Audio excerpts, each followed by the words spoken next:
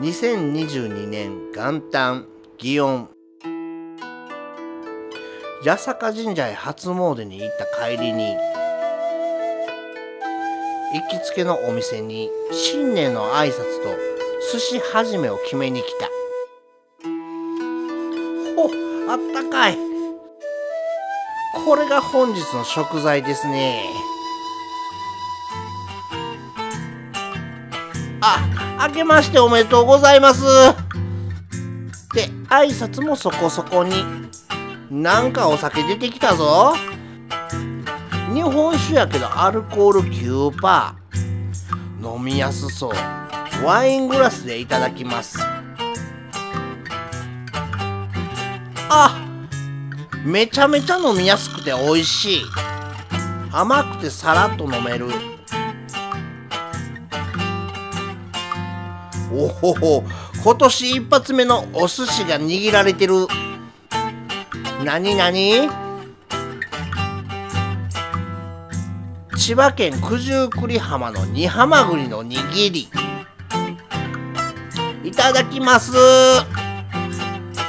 うん。これはうまい。噛むとハマグリのお出汁がしみ出るね。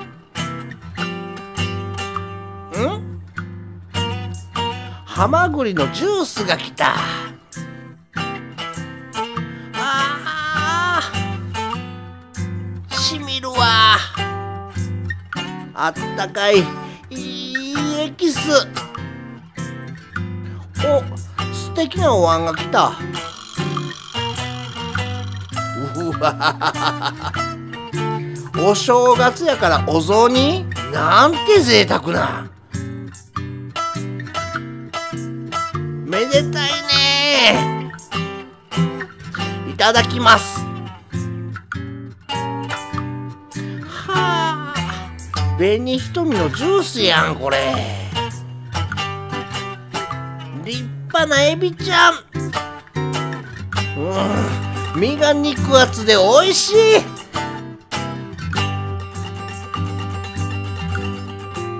焼いた紅瞳の香ばしさがおつゆに溶け出してるわ。さらに柚子が爽やかな香りをプラスして。極上やね。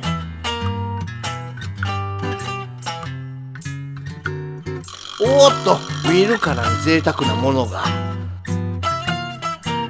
大間のマグロ大トロの刺身。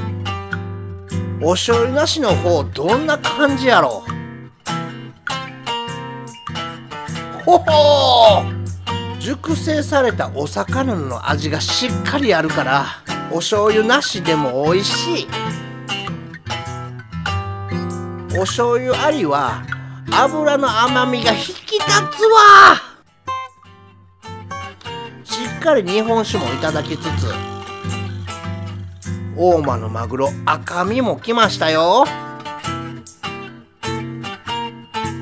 うん。いい赤身って本当美味しい。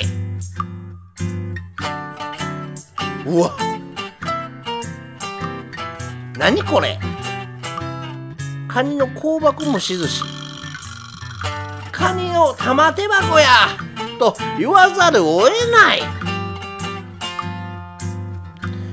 かんぴょうをほどきまして甲羅をパカッとして爪をよけましたらひっくり返していやー美味しそう。内子外子肩の身味噌すべておしゃりと合わせて蒸してある。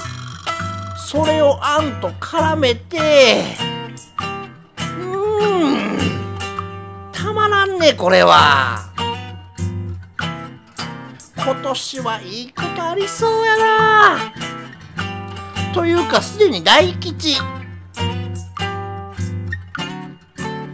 このタイミングで抜け目なくしっかり日本酒もいただきます。あーいいお正月。まったテッカテカしたものが来ましたよのどぐろ。それも最上級。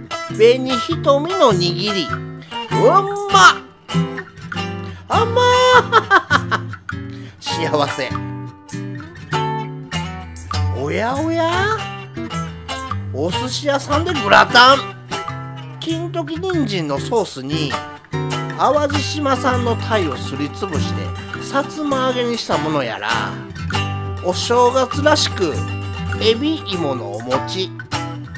それにロマネスコ銀杏と具だくさん。熱々。エビ芋のお餅最高。